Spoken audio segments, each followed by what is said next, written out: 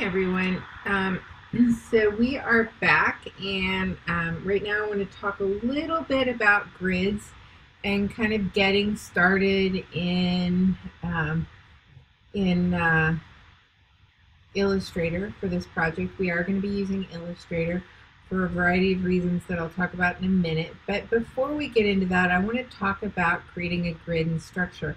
Now, this project, um, I didn't stress having you do a grid before you did your sketches, but at this point, I would like for you to start thinking about grid and structure. Um, we will definitely continue toward um, considering grid and structure as we move through this class, but I don't put a ton of stress into it for, for a lot of reasons in this project because I feel like as you start to develop these, the the structure will be, um, you know, apparent because you are putting certain elements on the page and they have to relate. And so sometimes that doesn't always work with a grid. But I did want to start out talking about a grid. A grid is simply the structure that holds up the information that we don't necessarily see, you can see that this has a grid that is probably very much like this, a multi-column grid. And you can see that they've used three columns, and then they've used one column, and then they've used two columns for the picture. Um, I could have zoomed in to do that. Um, but you can see that there's all kinds of variety in the structure and the placement of these columns. And that's because they picked a, a grid with a lot of diversity. Um, and so something like this that has multiple columns, um, they could have gone with a simple two column here, but you can see how much activity and variety they've gotten um, in that page because they didn't. So I wanted to start there because I felt like it was important for you to kind of understand um, the role of the grid and to try to work it in as much as possible. Um, but again, a lot of it will be playing off the title that you create. So I don't really stress it. So we're going to come into Illustrator and talk a little bit about getting that document going. I don't know how familiar you are with, with Illustrator, um, but I give the same kind of basic um, uh, demos in all of my classes. So this is very much as if we were face to face. We would be doing these same demos in class. All right. So the first thing I want to do is I want to create a new document. Our uh, poster is 20 by 24. So if I go to File down to New Document, um, I can see that my document is in points. So the first thing that I want to do is click on print because we're going to be doing print. Um, that's important because let's let's look down here. It says CMYK, C for cyan, M for magenta, Y for yellow, and K, K for black. If I print, if I click on this, you'll notice that it has RGB, red, green, blue. So anything that's web or on screen should be RGB color combination but anything that's printed should be um, CMYK. So that gives us um, our first starting point. Um, the next thing that we need to do is we come up here and we make sure that this is in inches. So our composition is 20 by 24.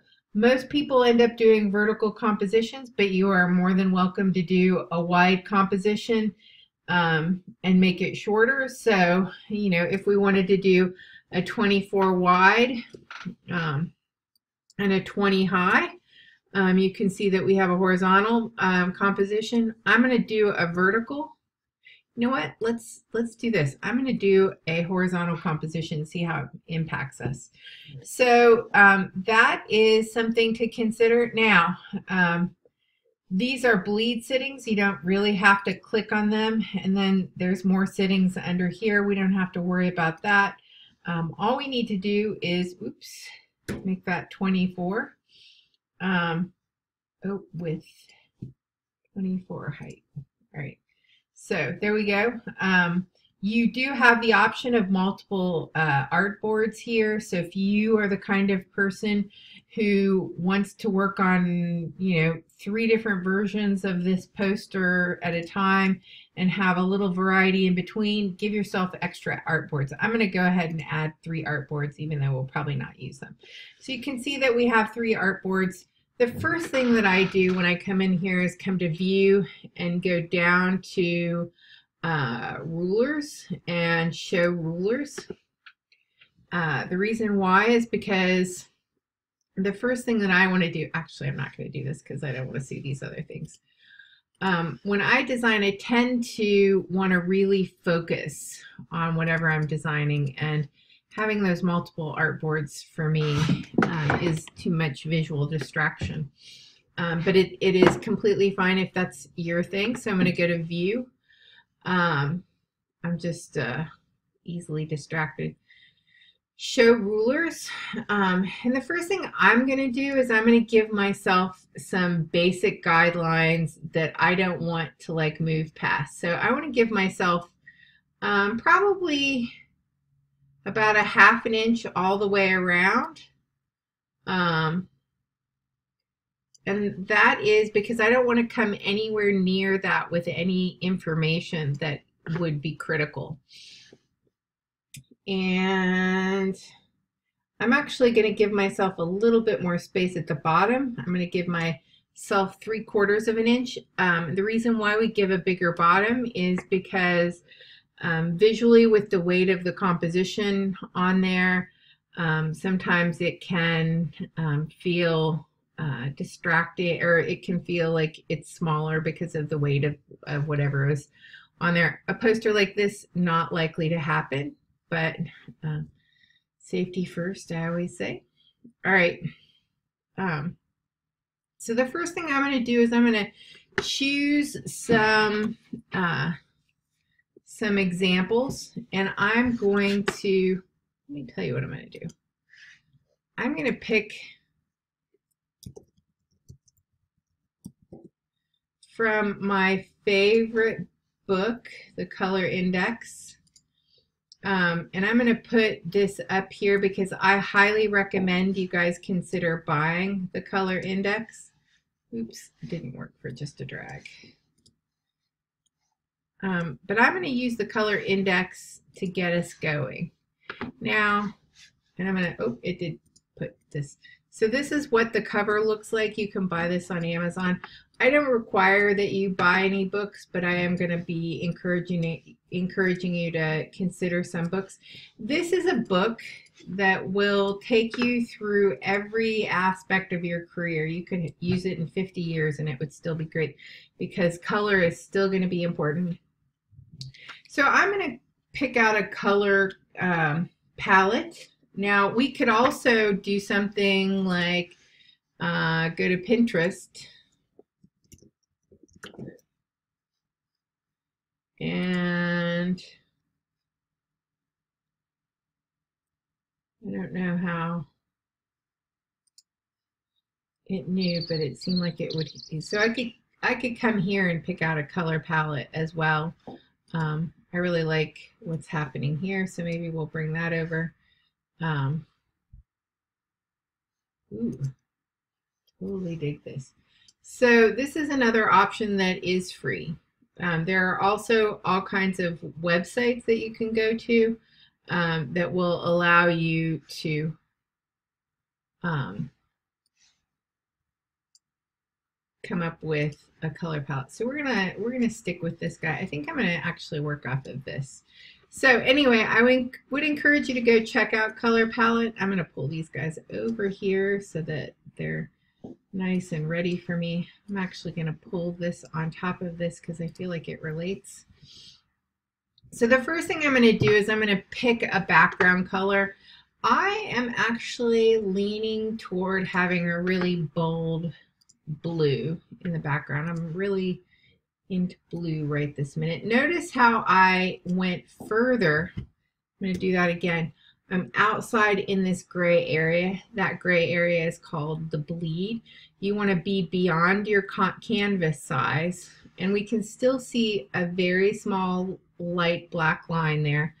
Um, and when it's a lighter color, we see it even easier. Actually, let's go ahead and use a lighter color. Let's do this. I might change my mind later. Um, mm, I'm gonna go. I'm gonna go bold. Um, I still might change my light, my my mind later. Notice that this has layers. So think of this as having layers like an onion has layers. And the good news about this is I can lock this layer so that I can't move anything if I um, am working on another. So I heavily encourage you to use layers, especially if you're new to Illustrator. So the first thing I'm going to do is First thing I'm going to do is decide what I want to say. And so um, you could put 24 rules of type, or you could come up with um, uh, something else. I'm going to come up with typography speaks. So I'm going to type in typography, and I want it to be this green color. And I know it's real small right now. I'm going to pull it over here. I'm going to hold down shift. Notice it has these handlebars. I'm going to hold down shift and then I can scale it and it stays the same proportion. My hand is off the shift now and you can see that I'm stretching it. Do not stretch your type. Um, it becomes an awkward, awkward thing and it, it creates issues with read. Now, because um, I told you that I love Frutiger, I'm going to stick with Frutiger. And I'm going to talk about why um, Frutiger and why um, why a font family. Notice that Frutiger has all of these versions. It has a light, a condensed, a bold condensed, a black condensed, an extra black, a light, a light italic, a Roman, which is body copy, which is the small text, italic bold, bold italic, black, um, black, ultra black, I'm going to say, I'm going to go ultra black because I'm just feeling like I want this to be super contrasty and kind of weighty in terms of title. And I'm going to decide to do a hyphen and do a return and have these guys aligning on this side as opposed to this side. This is called flush left.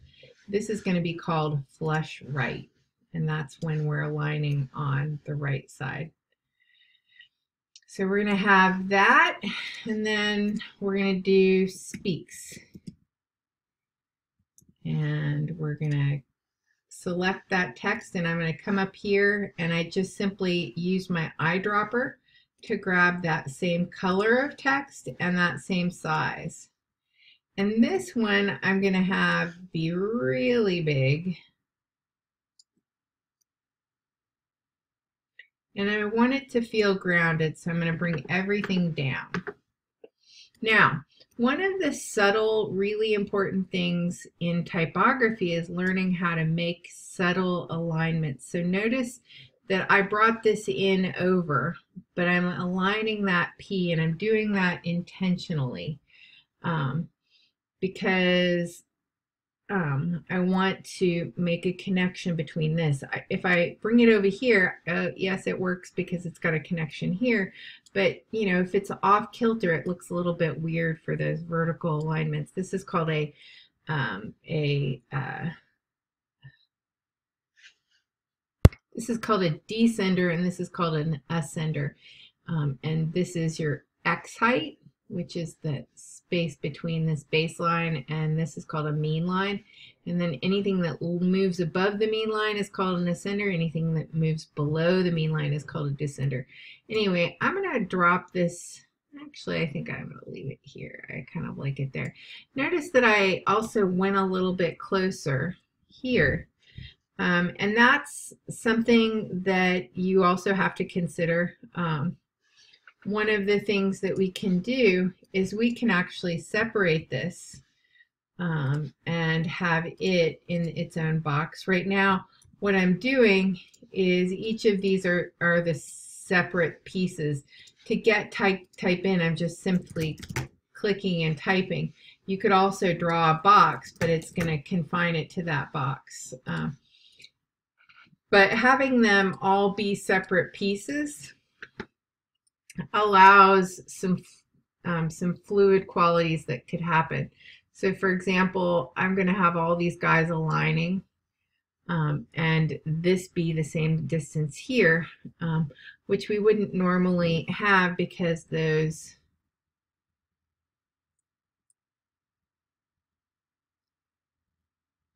those descenders and ascenders kind of could get into um, each other's way. So the other thing that I'm going to do is I'm actually going to play with two of these palettes and I'm going to do, I'm not feeling this, this, um, this color. I'm going to grab that color on that really dark navy and I feel like that has a lot of energy. Like I would gravitate toward this because of the intense energy. And um, so the next thing that I need to think about is um, notice that I'm also letting my P run off the page. That's actually in, on purpose. Um, and letting things run off as long as they don't impact the readability is not a horrible thing. So I'm going to have my text coming over here in two columns. So this is where I said, you know, you don't have to have a tight column situation going um, because here I am, my type is kind of creating this sense of column for me So I'm going to use that. And then I'm going to give myself a space in between these two columns. They're pretty close. I'm not going to get like crazy and worry that they're a little bit off because I think it'll be fine. Um, but you can see that they're pretty close and I'm playing again with this strong alignment that we created in this composition. I'm actually going to go back and use those grids. By the way, um, to get those grids, I'm just pulling from the side. I'm just pulling from the side and bringing them in. Um, I didn't talk about that probably enough. So I'm going to pop this over and our alignment's looking pretty good. Oh, this P has a odd thing happening.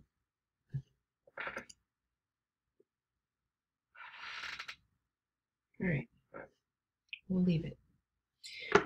Um, all right, so we have that as our second layer. I'm going to go ahead and lock that, and we're going to start with our third layer. Now, I'm going to give you guys a Word document. So I've got to go find that Word document. It's going to be on my desktop. It's going to be in my classes. It's going to be in typography, it's going to be rule list of rules. So you're going to get this list of rules.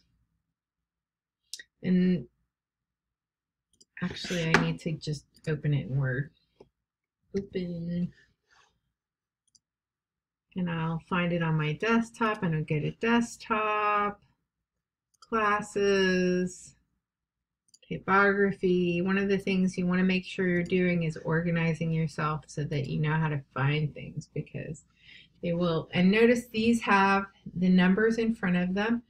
I'm going to ignore the numbers for now and just grab it. This is intended to be funny, but I'll probably take it out. Michelle's always right. Um, that is not true, if you ask my husband.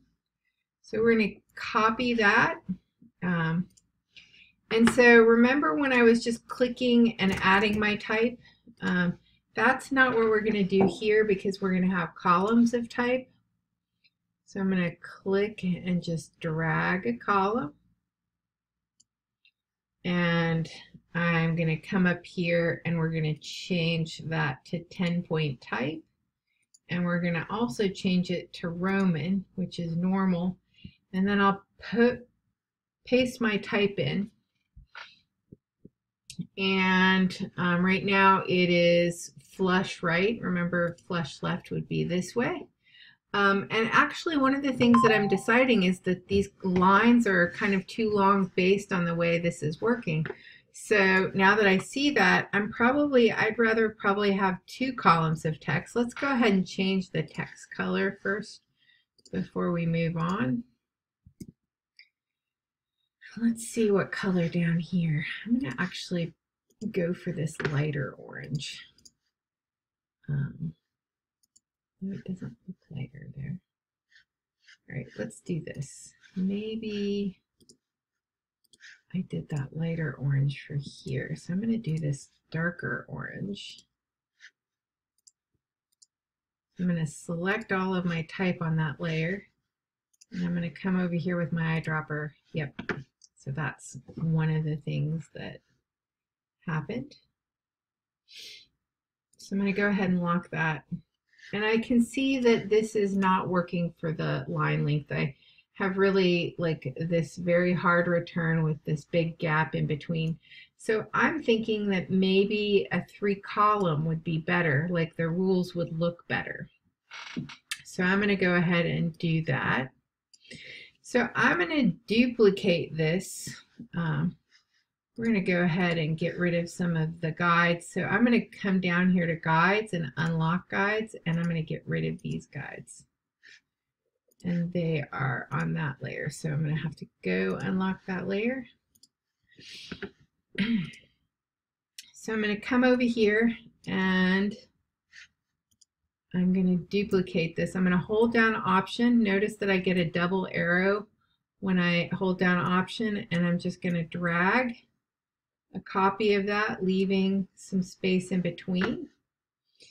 And I'm going to come over here and delete all the text here. Now, one of the things I wanted to show you is that we have this little plus sign over here. That means we have extra text that's not being shown. So if I click on that, I can go ahead and click another column. Actually, it didn't give me the it didn't give it to me in the column that I created, but it gave me a column of exactly the same size. So I'm going to pop both of these up on this guideline um, and then think about what what's happening here. And I like the idea of having big numbers on either side of here. So I'm going to go ahead and get rid of all of these rules. And as I do it, I'm going to go ahead and put a number. Um, and I'm just going to do one. And I'm going to grab this font down here. Um, but I'm going to back off on the weight and give it a lot less in size. And I'm going to just see how I feel about having these guys overlap. Um, so I'm going to do a 2.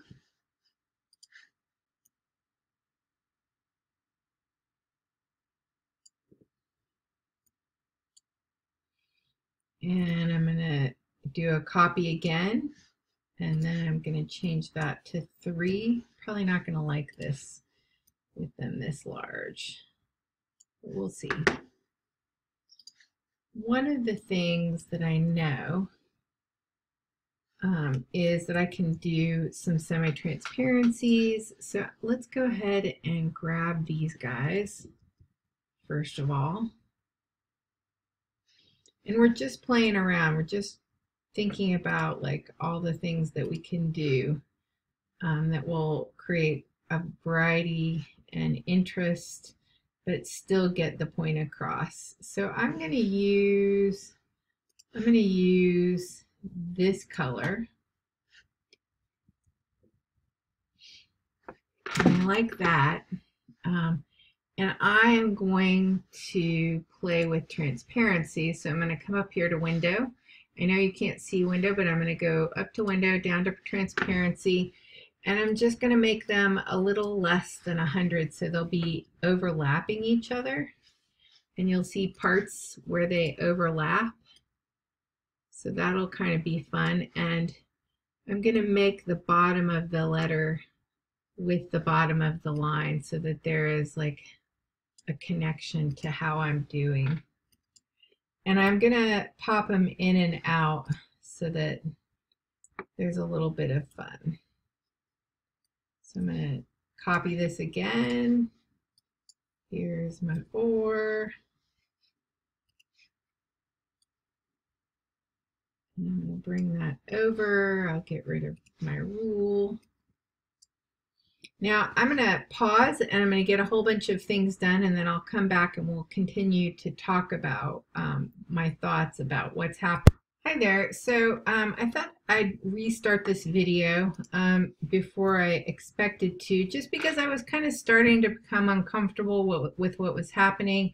And so I wanted to talk a little bit about like, as you're seeing things progress, like changing course. And so that's what I was doing. I didn't like how it looked um, with them on top of each other and I kind of started to play with the idea that they didn't touch each other, but they kind of took in up different space. So the the size that they become is kind of sometimes reactive to the space that I have to give them.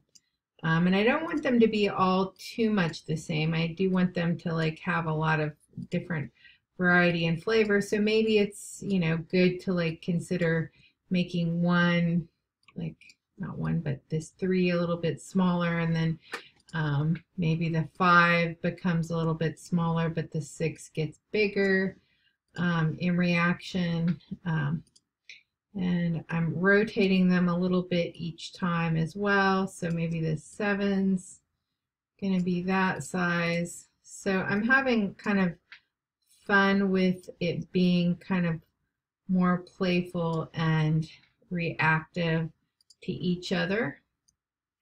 The other thing that I'm becoming uncomfortable with is I don't like the fact, I'm going to make 8 a little bit smaller and kind of bust up my rhythm.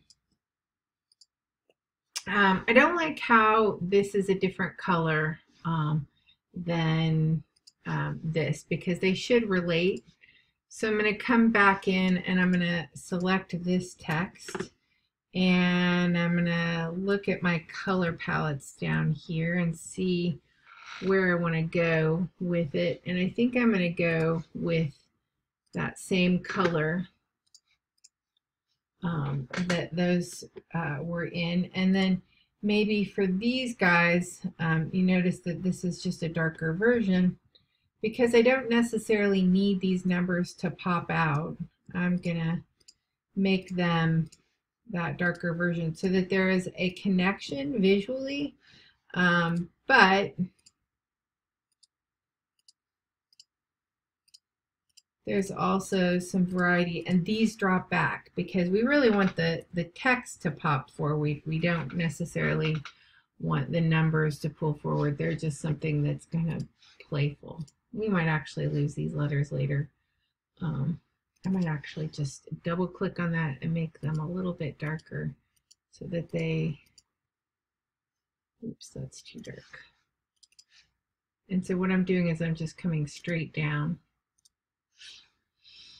so that they drop back a little bit. We can do the same thing by um, playing with transparency as well. I could drop all of them back um, so that they become a little bit less apparent, which I actually like a lot because then I'm seeing my um, information. I'm actually not liking what's happening here um, the longer I look at it. And again, that's normal. One of the things that design is about is this trial and error process.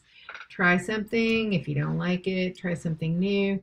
So we're going to get rid of these guys. We're going to just leave it with just the text. We might do something else down the road. So we're going to continue getting rid of these rules. Um, that are were in the text you were given. And then get to a place where we're ready.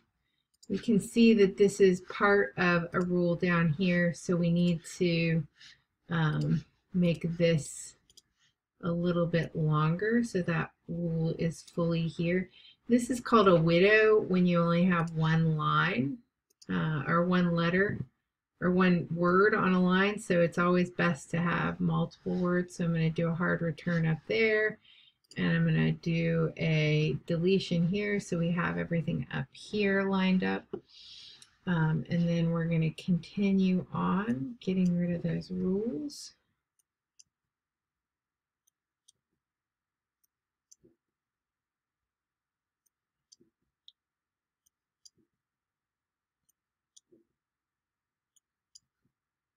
Oops, too much.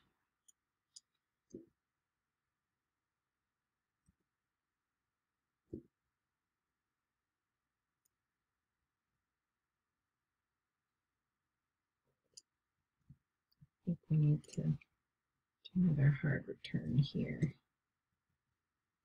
All right, so those are our rules. I want to stop there and we're going to pick this up a little bit later. Um, I also today am going to do a quick um, demo on the basic tools in Illustrator. I'm just going to run through them quickly and I wanted to do this separately from that video so that if you ever wanted to just run through the tools really quickly you could. So I'm going to go ahead and stop the video here. There'll be several other videos um, coming up. Thanks.